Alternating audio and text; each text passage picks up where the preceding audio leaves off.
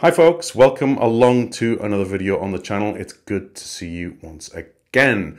If you've not already done so, please hit the subscribe button. It really does help us grow the channel. Please click the join button as well to see the various levels of membership that you can select from to become a member of our growing community. I highly recommend the junior membership level as the best value, 99 pence per month and that gets you access to all of my members only video content which will drop every Wednesday. That is my new release schedule that we are working to from now on. I'm going to release regular videos every Sunday at 6 p.m. UK time and uh, members only videos every week Wednesday 6 p.m. UK time. In the last video I talked about the question of whether you could rely on Microsoft as your end-to-end security provider. This provoked quite a large response, mostly positive, I have to say. Now, what I'm going to quickly address is I did get one or two negative comments on this. Um, well, I've got a few negative comments on the thought of using Microsoft as an end-to-end security provider was laughable to some people, and that's absolutely fine. That's a matter of opinion and experience. Uh, so I have no problem with that whatsoever.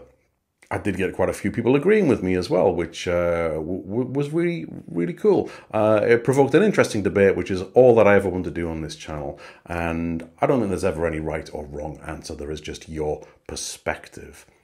A slight can of worms that I maybe did open is in recent times I have been a little bit more, shall we say, clickbaity with some of my thumbnail titles, and this has gone without any remarks for the most part for uh, most of the recent videos. This one though, it, it drew one or two responses of, well, you lured me in with that thumbnail, but you really didn't deliver on it, and uh, I would have stuck around and subscribed, but now I'm not going to. But that's fine. That's absolutely fine.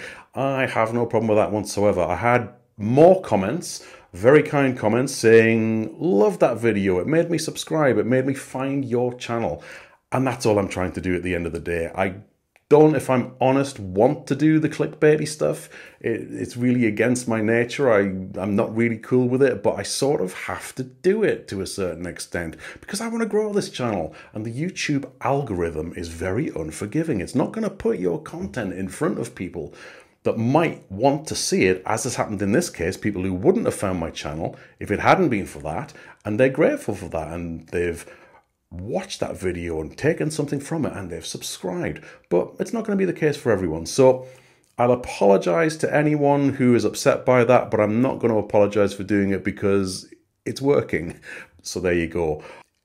If you do happen to have a problem with it, then in wrestling parlance, I have two words for you no, don't watch.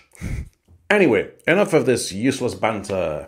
Let's crack on with today's topic. And just to prove that I am not a complete Microsoft shill, I am going to be talking about five ways that Mac OS is better than Windows. Now, Setting the scene for this a little bit, what I did was I asked this exact question of Microsoft Copilot. I typed in exactly that. Give me five ways that Apple Mac OS is better than Microsoft Windows. And it did exactly that. I'm going to read each one out and then I'm going to give my response. It's coming up.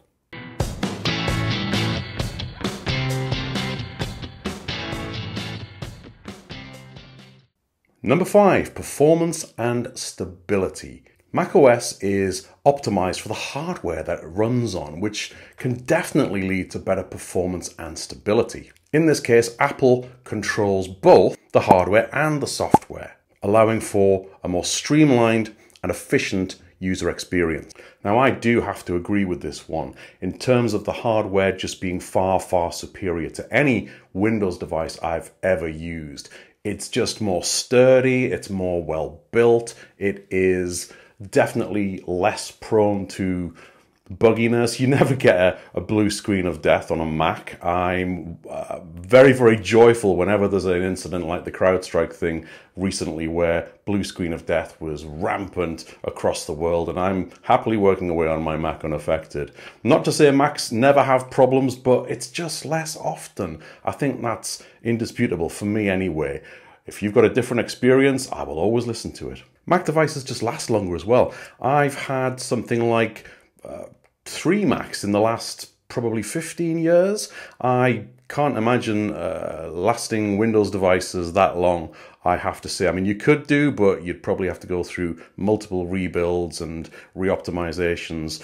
Uh, now, the flip side of this argument is Mac is a lot more expensive in general. You you pay for what you get. I think that's uh, always been the case with anything of quality in the world. So uh, it's definitely going to cost you more, but in my experience, it's going to be overall more reliable and it's going to last you longer.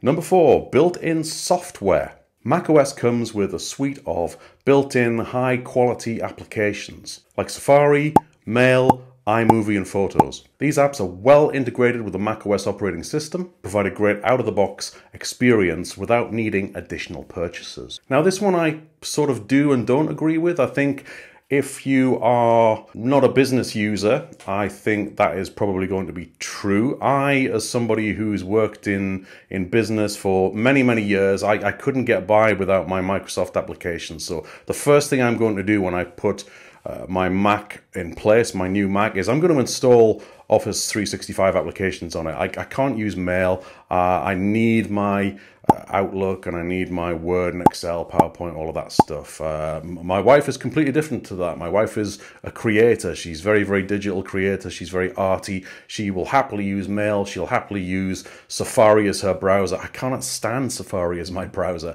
First thing I'll do when I build Mac OS is I'll put Google Chrome on there as well, and Edge, of course. I, I would only go to Safari as an absolute last resort. But uh, yeah, it's an interesting argument, that one. I think uh, there are definitely two sides to that story, and I think it depends on what your use case is, what your needs are at the end of the day. Number three, security and privacy. macOS is generally considered to have strong security and privacy features.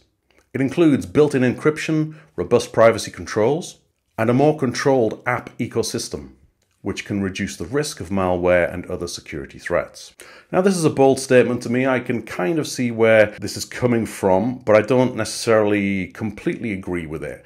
What I will say from the off is that the security of any laptop device or any device in general is only as good as the user who is operating it. I think that's indisputable. I think we can all agree on that. Taking myself as an example, somebody who is security conscious, security aware. It's the nature of my job, so I'd be very, very remiss if I wasn't. But I'm not infallible. I've fallen for uh, the old phishing tests at uh, various places of work and uh, that sort of thing. So it's going to happen. You just have to be as vigilant and diligent as you possibly can. So in the time that I've been using a Mac, which is a good 15 plus years now, I've never had an antivirus program or an endpoint protection program of any sort installed on it, a third party. I've just run it out of the box with the built-in security and privacy tools that are uh, native to Mac OS. And I've never had any real problems. I've not felt that I've needed it.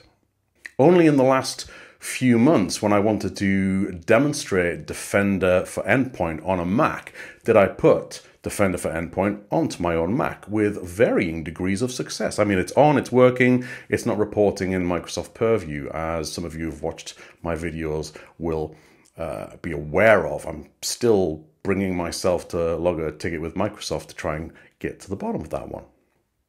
I remember in the early days of me being a Mac adopter, I was talking to a fellow uh, IT professional uh, and I was saying, Well, I've got a Mac, I don't need antivirus on mine. And his response to me was, uh, Oh, you're one of them, are you? but I think uh, if I was advising anyone, as a Mac user, I would probably advise them to have some sort of additional protection on there. I would advise Defender for Endpoint to be installed onto their macOS device.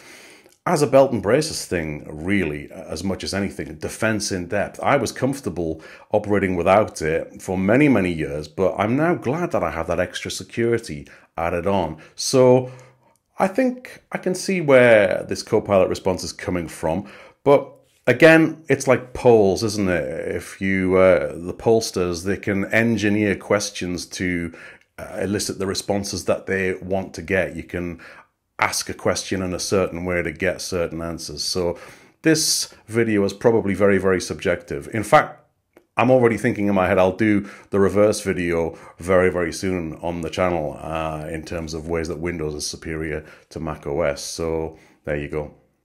Number two, integration with Apple ecosystem. If you use other Apple products like iPhone, Apple Watch, or iPad, macOS offers seamless integration. Features like AirDrop, Handoff, and Universal Clipboard make it easy to switch between devices and share content effortlessly. Now, this I do completely agree with.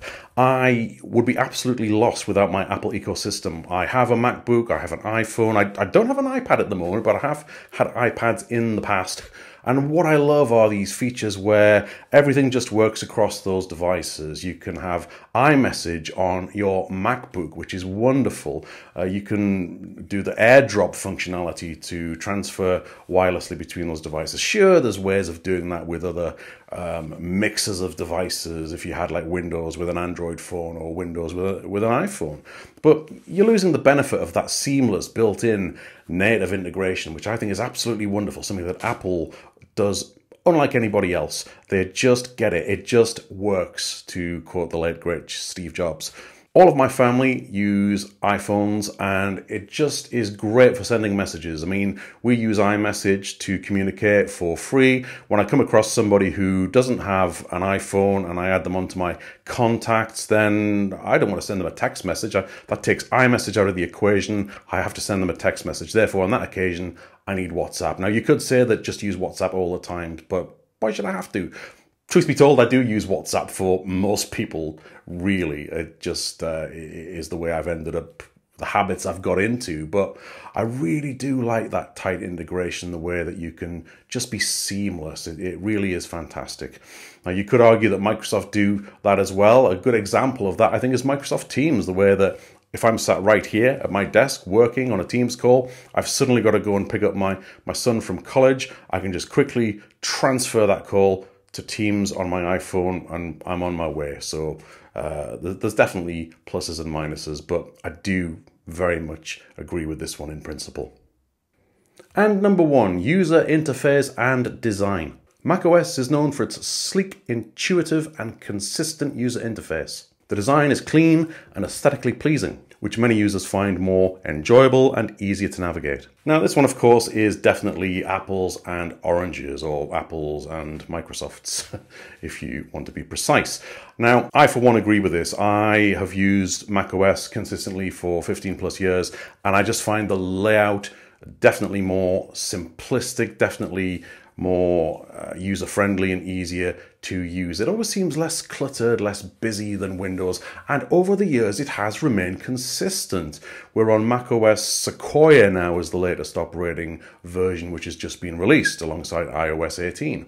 And very little has changed in terms of how the look and feel has evolved since the early days. I think when I first got involved with Mac OS when I first started looking at it and adopting it. I think we were on Mac OS Snow Leopard. Obviously, the functions and uh, features have changed and evolved over that time. It's got a sleeker uh, look rather than some of those more woody icons and backgrounds that we used to have, but overall the layout has remained the same. You cannot say the same of the various Windows versions over the years, going from 3.1 to 95 to 98 to ME to 2000 to XP to Vista to um, 7 to 8, 8.1 to what came next? Uh, Windows 10, Windows 11. Windows 10 was meant to be the last version, but then they changed their mind. So Windows is just so all over the place, and uh, and, and yeah. But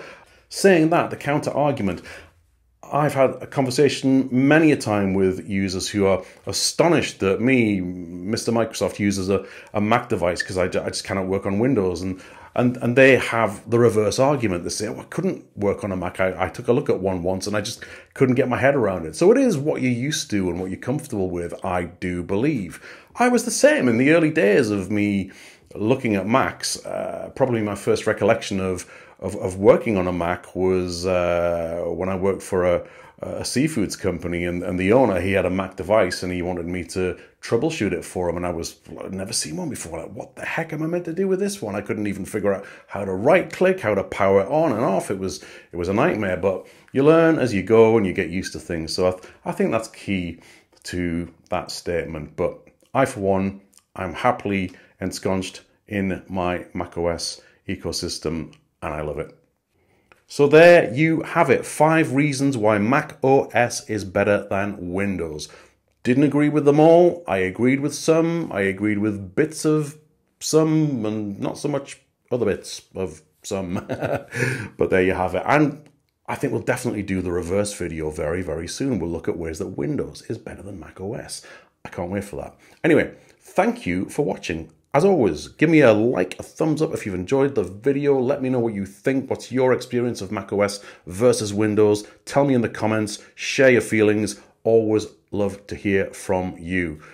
Okie dokie, let's wind things up. And please do not forget to hit that subscribe button if you've not already done so. That really helps me more than you know. A good percentage of my uh, viewers are not subscribed to the channel. It is absolutely free and it takes a second to do so, so please do hit that button and make sure you turn on the notifications bell as well.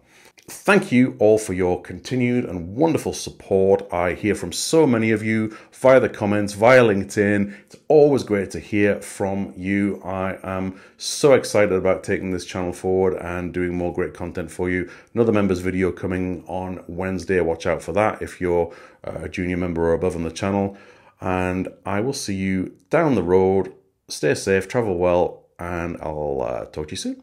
Bye bye.